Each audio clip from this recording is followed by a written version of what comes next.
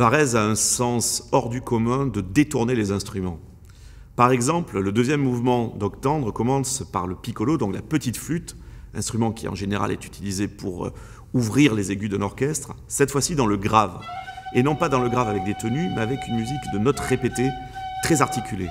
On n'a pas du tout l'habitude d'entendre le piccolo dans ce registre, et il y a quelque chose de très surprenant.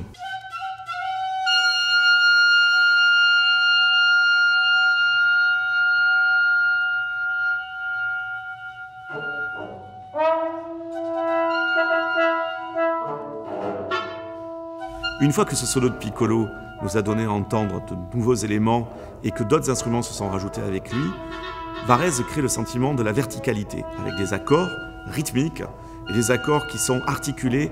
Tous les instruments semblent fusionner. C'est ça qui est assez intéressant, c'est qu'on n'a plus du tout une superposition, mais on a une synthèse, comme si on était dans une écriture très électroacoustique en fait.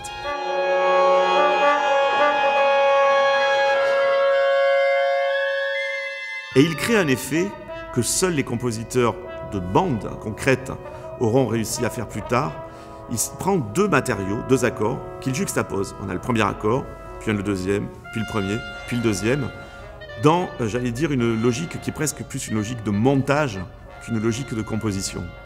Là encore, en 1923, Varese arrive à pressentir ce que va devenir la musique électroacoustique une vingtaine, trentaine d'années après lui.